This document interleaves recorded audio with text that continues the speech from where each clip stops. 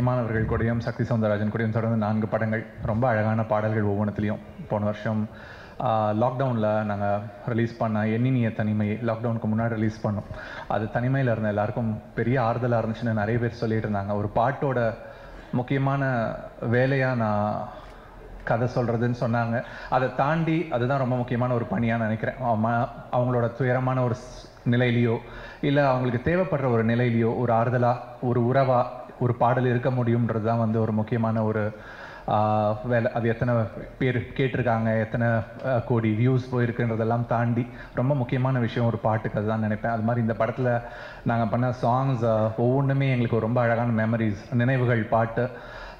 யுவன் அவ்வளோ அழகாக பாடியிருக்காரு அந்த பாட்டை. அந்த பாட்டும் வந்து ரொம்ப ஒரு பியூட்டிஃபுல்லான ஒரு மெலடி எனக்கு வந்து சக்தி அவர்கள் கூடயும் மாணவர்கள் கூடயும் உட்காரும்போது சொன்னார் எனக்கு ஒரு நாலு நிமிஷம் எழுதுறதுக்காக பேனா வந்து என்கிட்ட இயக்குனர் கொடுக்குறாருன்ட்டு.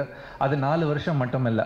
இந்த நினைவுகள்ன்றது வந்து ஒரு நூறு வருஷத்துக்கான ஒரு பாடல். ஸோ ஒரு நூறு வருஷத்தை வந்து ஒரு நாலு நிமிஷத்தில் நம்ம எப்படி கொண்டு வர முடியும்? ஒருத்தரோட பிறப்பிலிருந்து அவருடைய கடைசி நொடி வரைக்கும் இருக்கிற சுமந்துட்டு போகிற நினைவுகள் எல்லாத்தையும் ஒரு பாடலில் எப்படி வந்து அடக்க முடியுன்றதெல்லாம் வந்து ரொம்ப அழகான ஒரு ஜேர்னி இதெல்லாம் ஒன்றும் நாங்கள் போகும்போது.